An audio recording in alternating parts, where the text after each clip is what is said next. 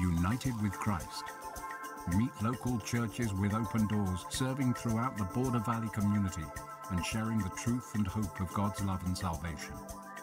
A presentation of Life Christian Broadcasting Television. And now, United with Christ.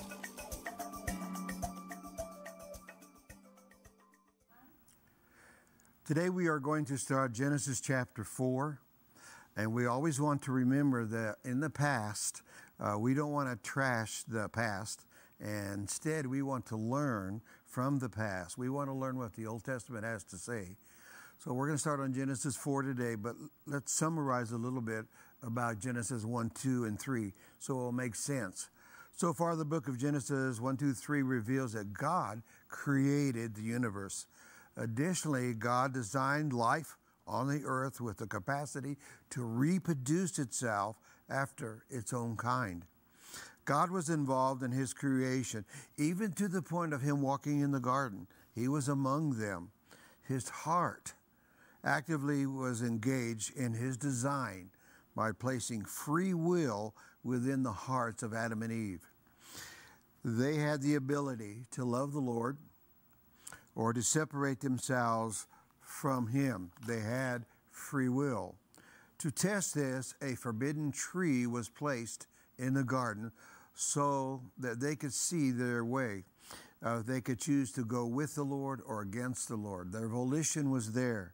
The task was either to enjoy the Lord and rely upon Him, or to empower one's conviction that there is bliss and enjoyment without the Lord, that would be without the Lord.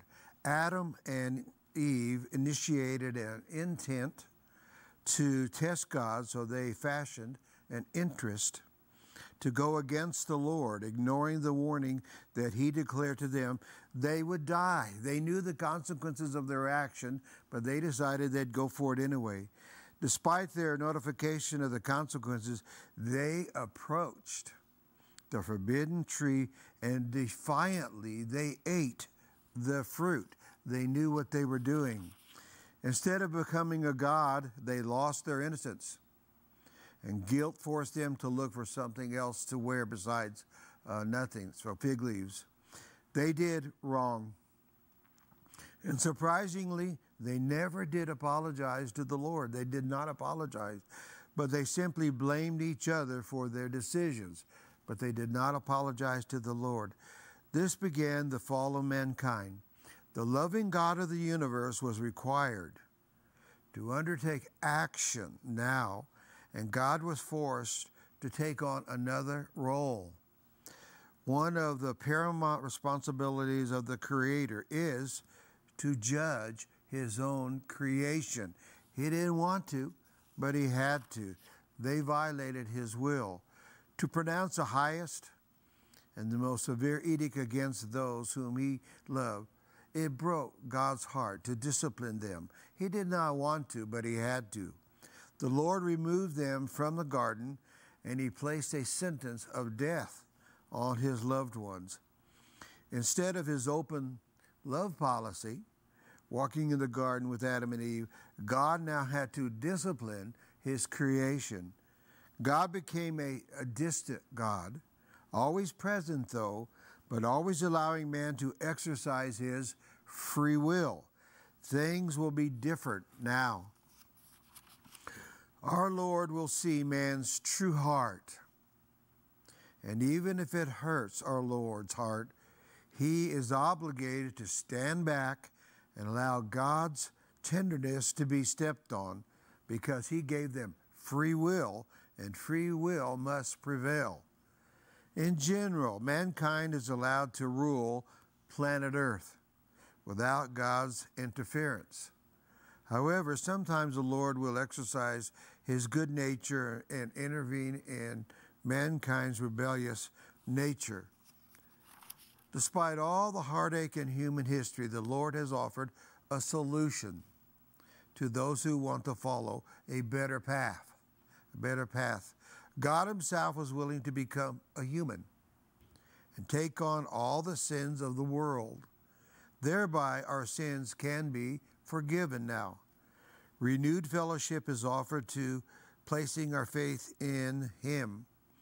Jesus paid the penalty, He paid the, the price, He paid the ticket for our rebellion against God by dying on the cross.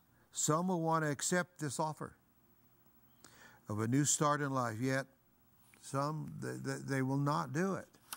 Now, today we're starting here on Genesis chapter 4. And if you look at the slide on Genesis chapter 4, God created the animals and humans not as babies, but as adults.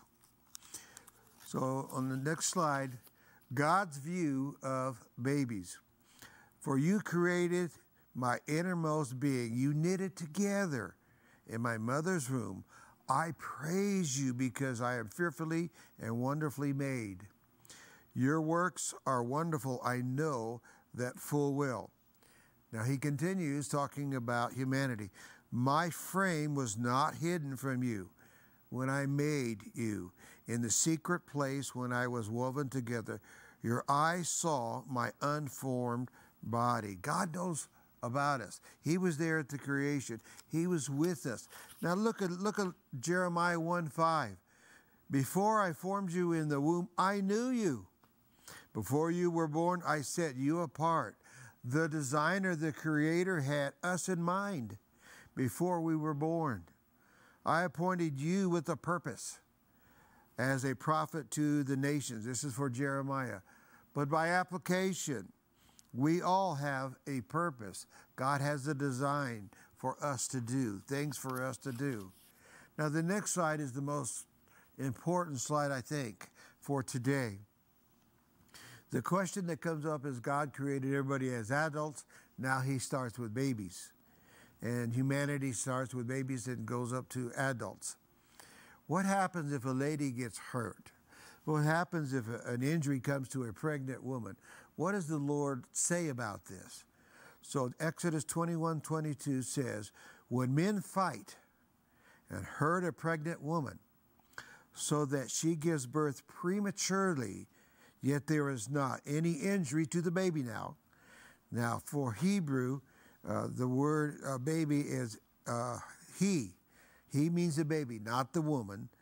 Uh, the baby is not injured. So if the lady is hit prematurely, she delivers the baby, but is not hurt.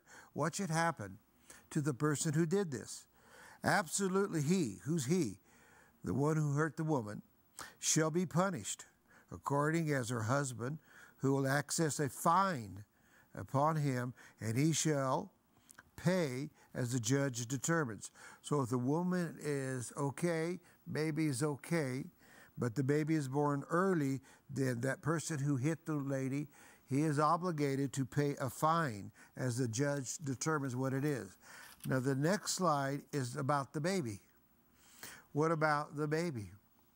Exodus 21, 23 to 24 talks about that injury to the baby. And if any serious injury occurs to the baby, what's supposed to happen? Now, literally, the baby is he, so it's not talking about the woman, it's talking about the baby inside her. It's a masculine pronoun indicating the baby, not the mother, which is feminine. Ason is the Hebrew word Ason means injury. So let's try and put that first part together now. If any serious injury occurs to the baby, then the punishment must match the injury. So it is saying if something happens to the baby, whatever happens, does it pass away? Does it, if it dies, gets injured, an eye, tooth, whatever, it, it gets hurt, then the punishment must match the injury to the baby. What happened to the baby? A life for life. Oh, a life for life, an eye for an eye, tooth for tooth, hand for hand, foot or foot. Well, what is the Bible trying to tell us here? If the guy who injured the lady and the baby comes out and the baby is dead or injured, then there is a punishment for the person that injured the woman. Well, what is the punishment? A life for a life, eye for an eye, tooth for tooth, hand for hand, foot or foot. Punishment to the one who caused the baby to be aborted, to be injured. It is a life for life, eye for eye, tooth for tooth, must equal the injury that the baby had. whatever happened to the baby, uh, that injury has to go to the person who did it. So, with this in mind, if, if someone aborts a baby and goes in there and takes it away, this applies. Then the punishment must match the injury, a life for a, a, a life. Or if it's born okay, uh, and there's just injury to the to the baby, then whatever happens to it, that must be paid by the person who did that. So the Lord is telling us that He is against abortion totally. Now let's go back to Genesis chapter 4. Adam lay with his wife Eve, and she became pregnant and gave birth to Cain. She said, With the help of the Lord, I have brought forth a man. Later, she gave birth to his brother Abel. Now, innocence is gone now. Adam and Eve sinned, innocence is taken away. And so life is there without God. Uh, he is not present directly, He is there indirectly, of course. It's a different world now. So she has two kids, two boys. Now, the next slide, I'm not sure where they got this picture. Look at that picture. Different characteristics emerge. Baby Cain, hot headed. That little baby looks really hot headed there. On the other side is his younger brother, Abel. He is calm, he's collected, he's cool. Both came from the same parents. One is a hothead, and one is a cool, collected uh, baby. They grow up. Now, Abel kept flocks, so his occupation was a shepherd, and Cain worked the soil. He is a farmer. Now, it's easy to remember this because Cain is grown out in a field, and a farmer would take care of it. So you can remember Cain as a crop equals farmer. So here they are, they're grown boys now. The Lord has a, a, a, a I don't know, a sacrifice, I guess you'd call it. Uh, the best way we can look at it is like Christmas time. It is time to bring a present. So in this time, they were both supposed to bring a present to the Lord. So in the course of time, Cain brought some of the fruits of the soil as an offering to the Lord, but he brought second best. He did not bring the first best from his crop. On the other hand, Abel brought fat portions from some of the firstborn of his crop, the best of his offering. So the oldest son brought second best, uh, the youngest son brought the first best from his uh, sheep. Now, Cain and Abel is what we'll talk about next. The two brothers. Remember, innocence is gone. Adam and Eve decided they wanted to be their own gods to do it their own way. Now we're seeing the first kids that they had and see how it went. So, in the next slide, nope, let me tell you a story first. I'm sorry. Let me give you an illustration. Uh, the illustration is about a true football player named Gerald McCoy. He was a defensive tackle for the Tampa Bay Buccaneers. McCoy was the third pick overall in the 2010 NFL draft. He's six foot four and he weighs 295 pounds. Two times he was the first team All American college uh, player. Two times he was the first team All Big 12 college player. He was the USA Today Defensive Player in the year 2005. He was the Oklahoma Gator Player of the Year. He knows all about football and playing sports. McCoy and the Buccaneers agreed to a five year contract, $63 million contract on July the 31st, 2010.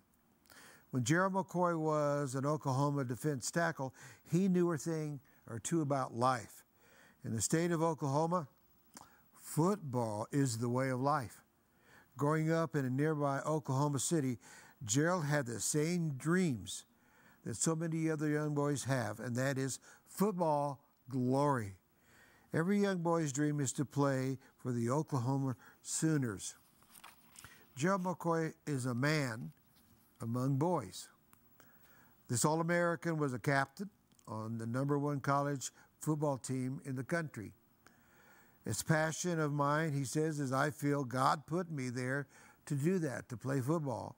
I just love playing football. By the time he reached high school, Gerald was among the elite football recruits in the nation. Despite growing up in a Christian with Christian parents, Gerald was no stranger to living on the wild side. Even though he lived in a Christian family, he was wild. I was his freshman high school player, he says, starting out with the varsity guys. So going to the parties, going here and being there, doing this and doing that was what people expected of me.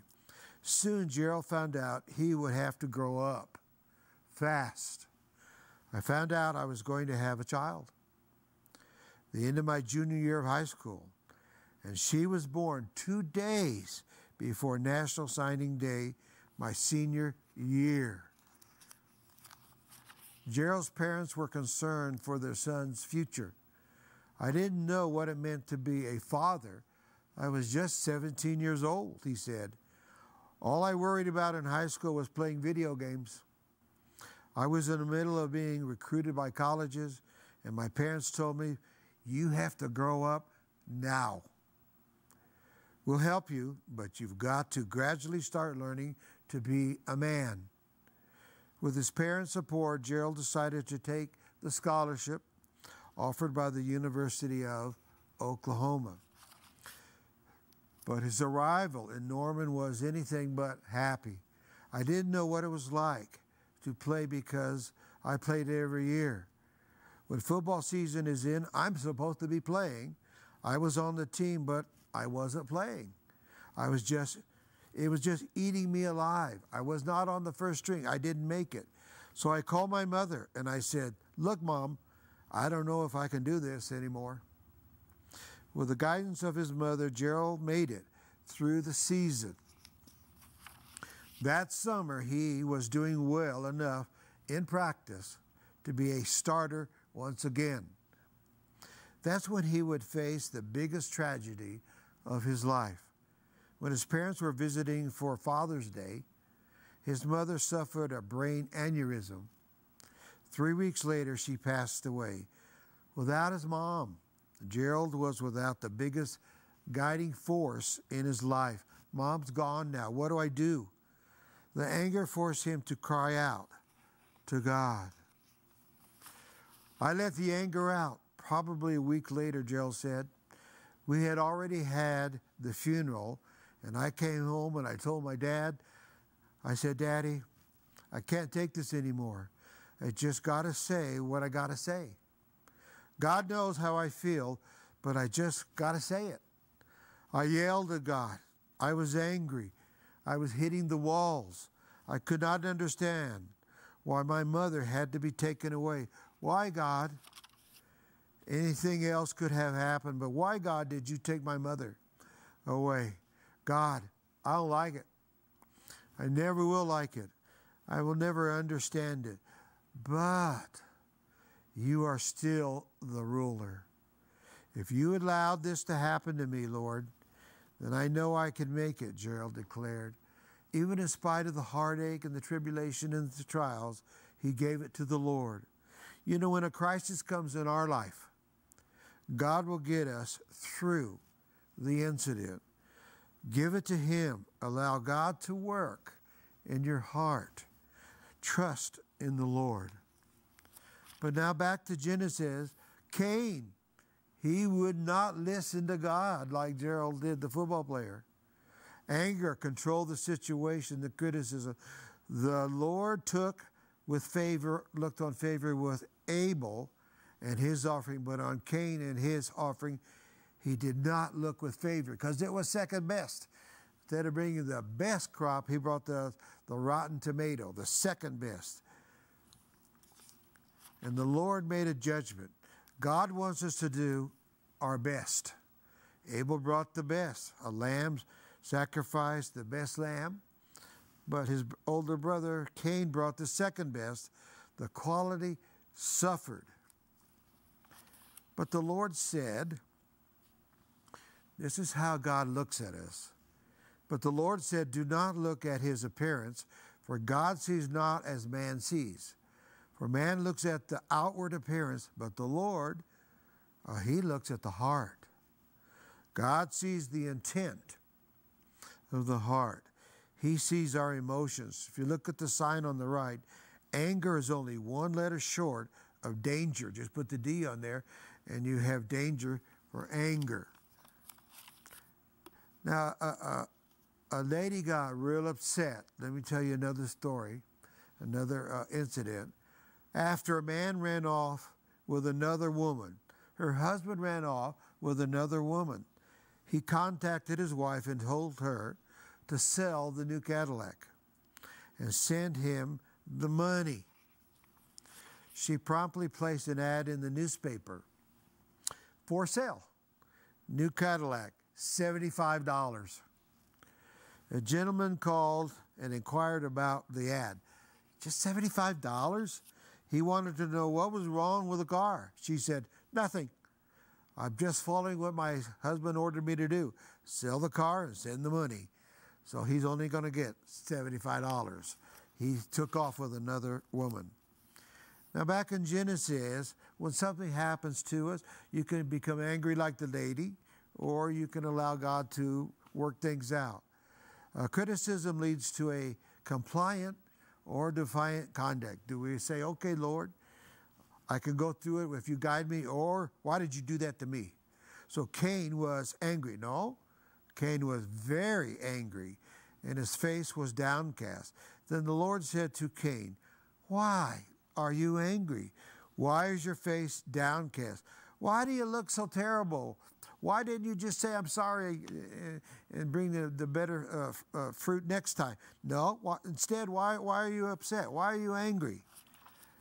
If you do what is right, will you not be accepted? Why didn't you do it right the first time? But if you do not do what is right, sin is crouching at your door. His desire is to have you, but you must master it. So, what it is talking about is if you do wrong and you let the anger continue, it goes to revenge, to wrath, and to some kind of other action. Instead, if you just leave it alone, let it go away.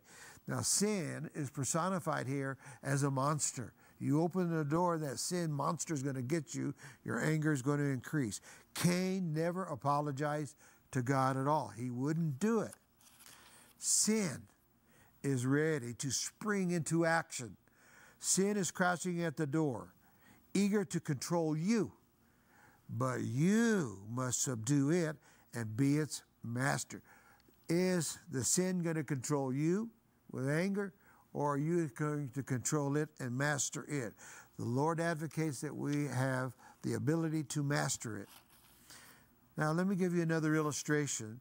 An eagle swooped down and picked up a weasel in its powerful talons, but when it flew over the lake, the wings unexplainably went limp, and the eagle went crashing down.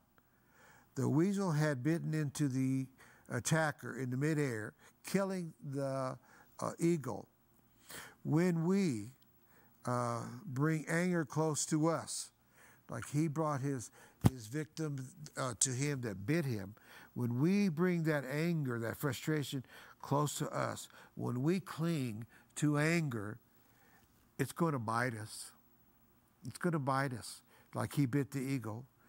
And when it bites us, uh, when we least expect the bite to happen, when it does happen, uh, it may take us down. It is better to confront the situation, confront the anger, and let it go and say, Lord, it is in your hands. Now, if you look at the next slide here, don't open the door. Don't open that door. Hey, I wouldn't open that door if I were you. Now look what it says above the door temptation, don't enter. On the other side is this monster, this huge creature called sin. You open the door and you keep your anger going, it's going to jump on you and it will be your master. Underneath the picture, if you do what is right, will you not be accepted? Just do what's right. And if you make a mistake, just apologize, Lord, forgive me. But if you do not do what is right, sin, personification, is crouching at the door, is desires to have you. But you must master it. You have to do that. Now, the next slide, isn't this, this is a great sign from a farmer, a safety tip, warning, farmer safety tip, stay away from farmer's daughter. It's a warning, you stay away from my daughter or you're going to get it. In the next slide, what we have here is safety tips. Beware. There's always somebody who does not like you. There's always somebody who goes in the wrong direction. So if you look on the left side, pornography kills. Pornography doesn't help, it kills. Drugs. Drugs don't help you, they will kill you. They'll kill your lifestyle. Below that, envy. If you're envious of somebody, it will destroy your life. In the middle below, no jealousy allowed. You let that jealousy take you over, it will pull you down. The emotional door kills you if you just run your life by emotions instead of the facts of the Bible. Revenge, you just can't wait to go get them. It will, uh, it will uh, capture you. And then above that is drinking. Uh, drinking will kill you if you have that in, in, your occupation. Now look at the wedding there. All the, the bridesmaids behind the, the, the bride. Look at their looks. Their looks are killing. Okay, the looks are killing the situation.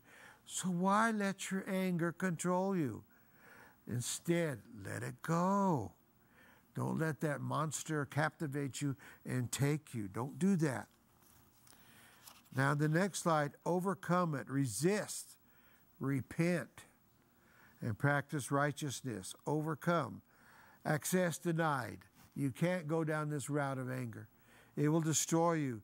The burden of sin will captivate you. You cannot do that. Anger, hostility may generate rage and revenge. Innocence portrayed. Now, Cain said to his brother Abel, Let's go out to the field. He acted so innocent, he was going to take his brother out into the field. So, next time, we'll go into a little bit more detail about this. But right now, let's have a prayer. Lord, you are talking about our character. And you say that each and every one of us will have a difficulty in life. There will be something that will happen that will make us unhappy. How do we handle it? Do we allow you to handle it? Or do we go against what happened and take it in our own hands and want revenge? But revenge will destroy us, it will take us down. So, Lord, as we get confronted with situations, teach us once again to do what is right and trust you. You are our Lord and you are our Savior. You love us and you will take care of us. In Jesus' name we pray. Amen.